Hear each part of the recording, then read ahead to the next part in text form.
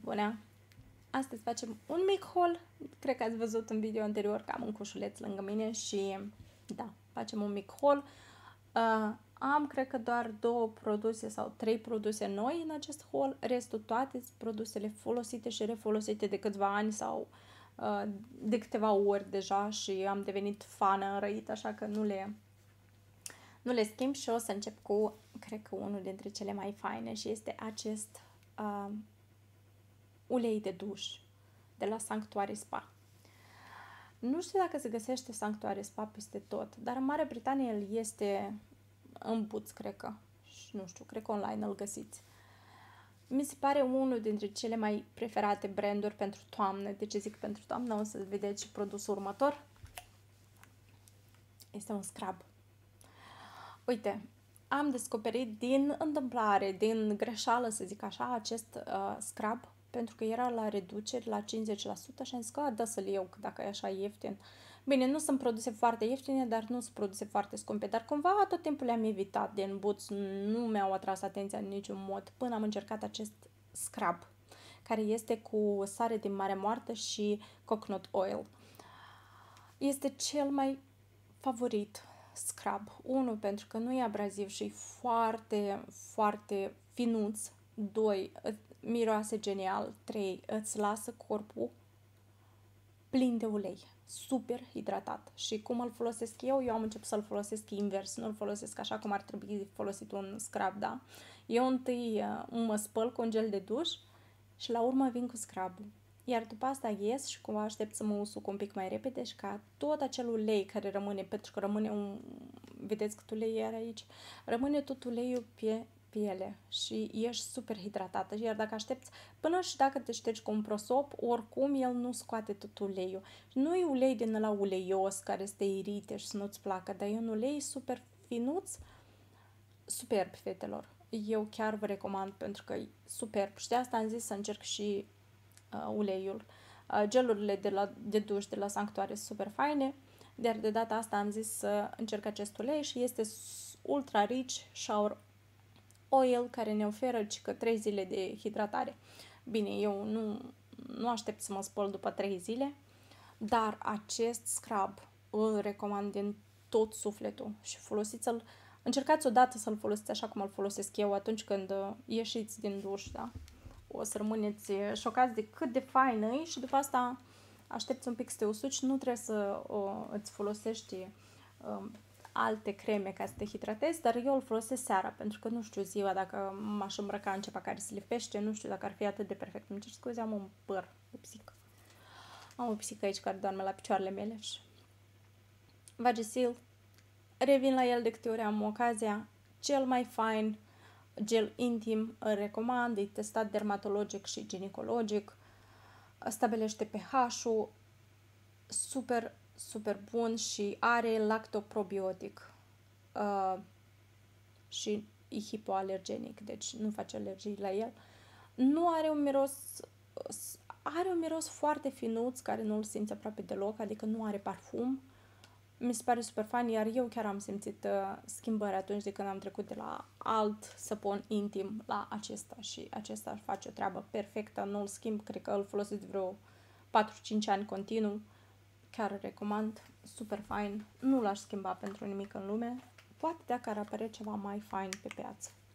Pixie uh, Glow Moods Cleanser, acesta este cu acid glicolic și, argi, uh, și aloe vera, este un uh, cleanser pe bază de argilă, perfect pentru mine uh, dimineața, pentru că de obicei dimineața nu am ce să curăț pe față decât rutina de seară plus microbi, bacterii, tot restul ce s-a așezat în timpul nopții. Uh, este absolut superb, este, deși are argilă, este foarte e foarte ok cu tenul. Uh, nu, nu-l usucă foarte mult, dar doar dacă ai tenul gras. Eu nu l-aș recomanda pentru un ten super sensibil sau uscat, pentru că totuși argila are tendința un pic să usuce.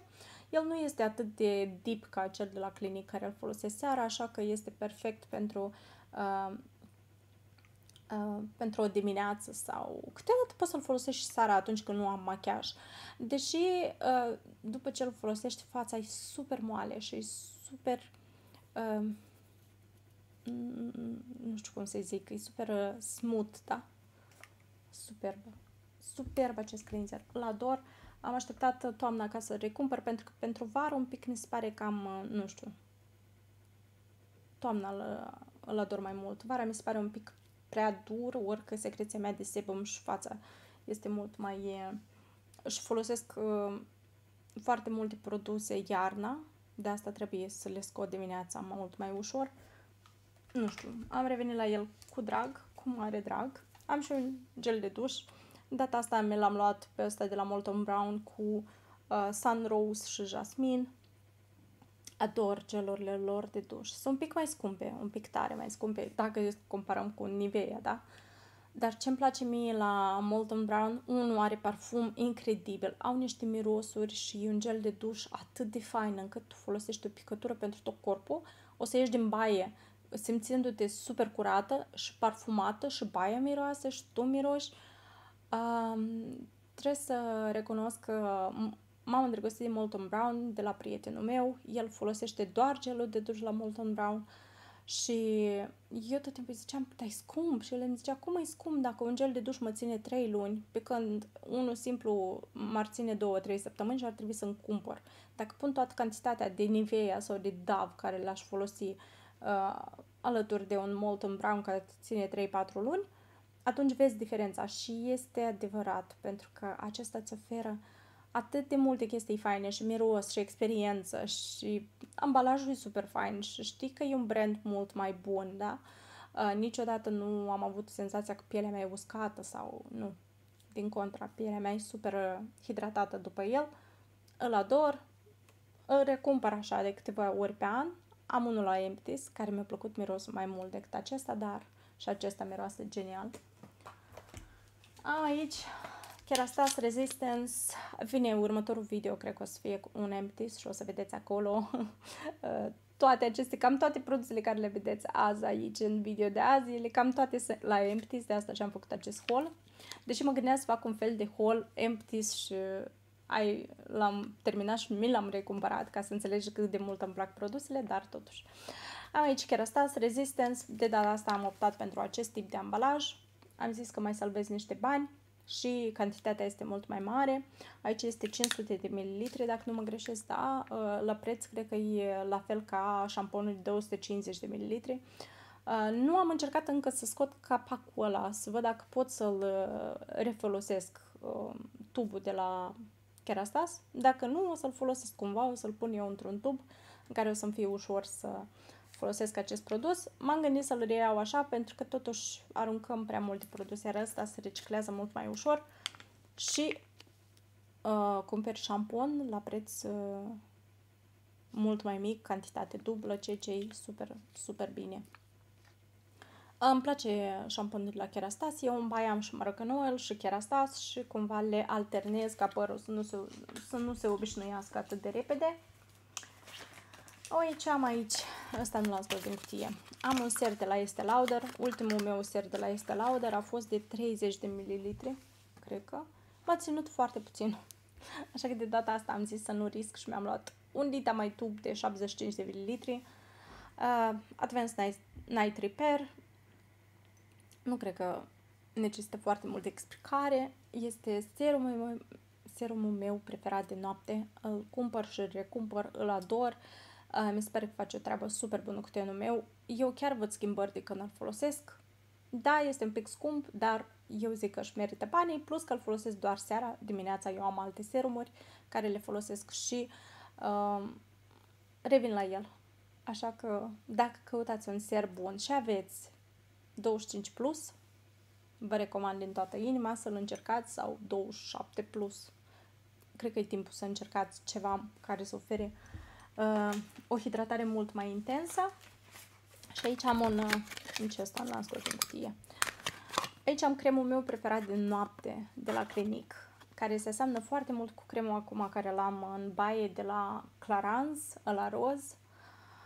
Ăsta e Turnaround Overnight Moisturizing. Este un crem un pic mai um, gras, un pic mai ric așa, care hidratează super bine nu l-aș folosi ziua, așa cum, cum scrie, este un uh, crem de noapte. Și aici se zice că e de la piele foarte uscată până la piele combinată, deci uh, tenul gras nu este indicat pe cutie, este doar 1, 2 și 3, dar acest crem este fantastic pentru că îl folosesc noaptea, unul, și pot să-l spăl foarte ușor dimineața. În cazul în care e un pic gras pe față, nu mă deranjează pentru că nu îl port ziua, nu trebuie să pun machiaj deasupra și totul e perfect. De asta rămân la el de câte ori am uh, nevoie de un crem mai hidratant și la un preț ok. Revin la el. Iar uh, acum cred că e sezonul perfect să reîncep să folosesc diferite cremuri dimineața și seara. Cumva în ultima vreme m-am lăsat așa pe un crem pentru că era ok, afară era cald, nu aveam nevoie de hidratare mult mai intensă și cumva folosem măști și știam că e ok, dar începe să vină frigul și o să am nevoie de hidratare mult mai intensă. Ador acest produs și miroase super fain și, și este acest uh, tip de crem care nu e gelatinoasă, dar este cremă, cremă hidratantă. Superb, fetelor, pentru iarnă, chiar aveți nevoie, mai ales dacă locuiți în România sau în Moldova. Uh, și o să fie în curând minus 10. Eu l-aș folosi și ziua. Uh, fiți atente atunci când timpul se face, când începe să fie foarte frig afară. Folosiți creme mult mai intense și, intense și hidratante pentru că uh, să nu vă înghețe fața. Noi, totuși, în Marea Britanie suntem un pic uh, ocrotiți de minus, pentru că nu prea avem minus. La noi maxim minus 5 și poate să, poate să fie frig iarna. Cred că iarna trecută am avut minus 5 și am avut și zăpadă un pic și gheață un pic.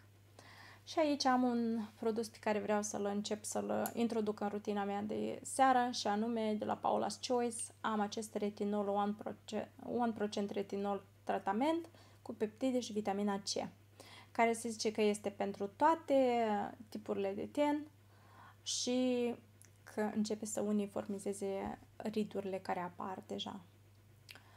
Vreau să-l încerc, uh, cum scrie și pe ambalaj, o să încerc să-l uh, aplic câteva seri ca să văd cum reacționează uh, tenul meu cu el și sunt foarte curioasă dacă o să văd careva schimbări, dar simt că este vremea să încep să folosesc retinol pentru că nu întinerim, ci din contra începe să îmbătrânim. Eu mă bucur că ați fost alături de mine. Nu știu, cineva din voi folosește retinolul de la Paula's Choice? Chiar sunt curioasă dacă e fain. Uh, și da, uh, dacă nu ați mai folosit produsul, încercați să-l folosiți aici pe gât, undeva să vedeți dacă nu sunteți alergic, măcar alergia să nu fie pe față, dar cumva să fie acoperită, să fie cumva pe gât sau în partea asta. O să vin cu un update. Eu am foarte multe produse cu care trebuie să revin cu update și nu mai fac. Cred că o să încep într-o zi să fac un vlog și acolo un vlog o să încep să-mi zic părerile despre toate produsele noi care le-am încercat în ultima vreme. Eu vă mulțumesc că sunteți alături de mine, vă mulțumesc pentru like, subscribe și comentarii și vă aștept în video următor. Pa, pa!